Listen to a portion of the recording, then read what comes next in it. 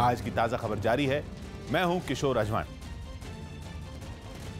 और मैं हूँ अर्पिता आर्या। कोरोना का सबसे ज़्यादा असर महाराष्ट्र में हुआ है, जहाँ पर अब तक एक हज़ार छह सौ पंचानवे लोगों की मौत हो चुकी है।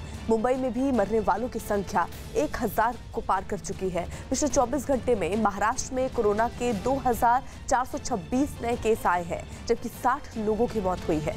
मुंबई में कोरोना मरीजों की संख्या बत्तीस हज़ार के पार पहुँच चुकी है।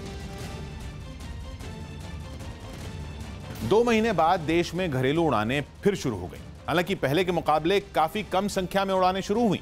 लेकिन देश भर के एयरपोर्ट पर कोरोना वायरस से जुड़ी तमाम सावधानियाँ बरतने के इंतज़ाम किए गए।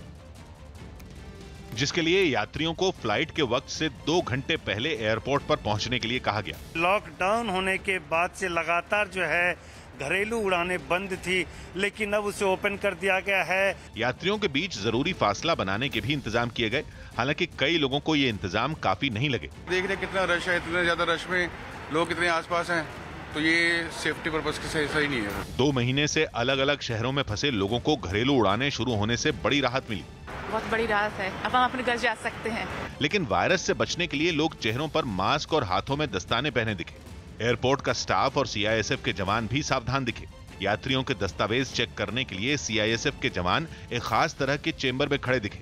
चेंबर की दीवारें शीशे की बनाई गई चेंबर के अंदर खड़े होकर ही जवान यात्रियों के दस्तावेज़ और मोबाइल में आरोग्य सेतु ऐप देखते रहे। एयरपोर्ट के स्टाफ में कई लोग पीपीई किट पहने दिखे तो कुछ चेहरे